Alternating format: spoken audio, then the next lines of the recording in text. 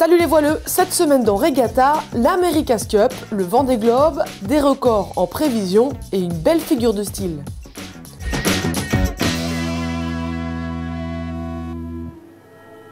Ça continue, mais pas par vent fort. Voici l'une des 37 mesures de sécurité prises cette semaine, conséquence de la mort du Britannique Andrew Simpson lors d'un entraînement début mai pour la Coupe de l'América. Les bateaux ne courront donc pas lorsque le vent dépassera les 20 nœuds en juillet, 21 en août et 23 lors de la Coupe de l'América qui se courra du 7 au 21 septembre. Pour ce qui est des autres mesures, on notera qu'en cas de chavirage, la course sera terminée et la victoire reviendra automatiquement à l'autre équipe.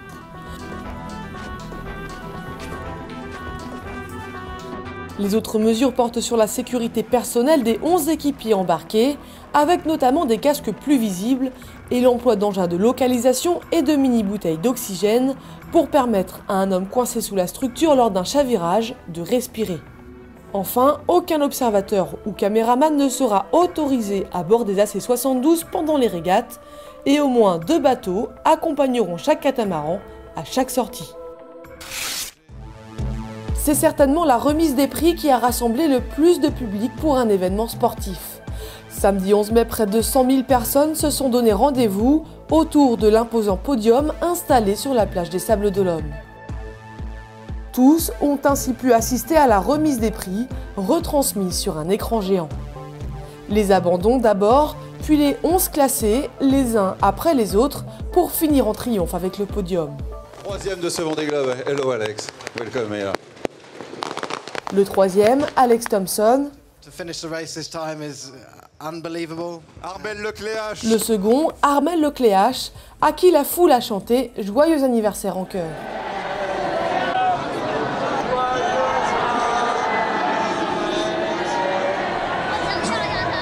Incroyable. Extraordinaire. Merci beaucoup. Et François Gabard, accueilli sous les feux d'artifice.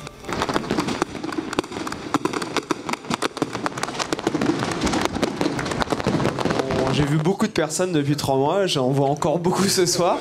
Donc voilà, ce que je réalise, bah, c'est qu'il y a énormément de personnes qui ont vibré pendant, tout cet hiver, j'ai vécu mon rêve, mais j'ai fait rêver aussi plein de gens, et ça, ça me fait vraiment très plaisir. Et je suis heureux bah, de voir euh, autant de personnes et autant de ferveur autour du Vendée Globe. Un feu d'artifice géant d'une dizaine de minutes a clôturé la soirée pour acclamer les skippers une dernière fois. Le Vendée Globe, Marc Guillemot en a sûrement un goût un peu amer, lui qui a abandonné dans les premières heures de course à cause d'une avarie de quille. Mais c'est pas grave, tout ça c'est du passé.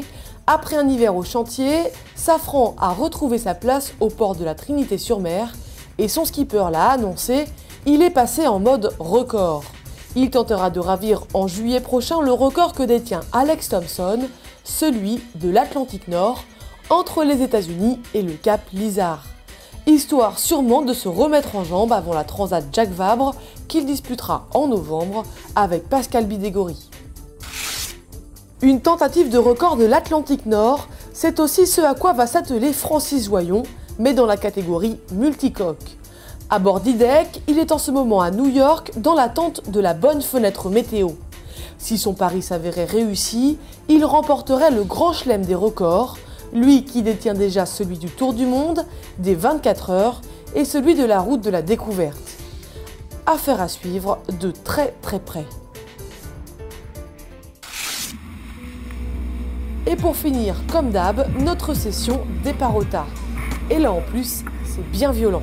Je vous dis à très vite, bonne semaine et bon vent. Et n'oubliez pas de vous abonner.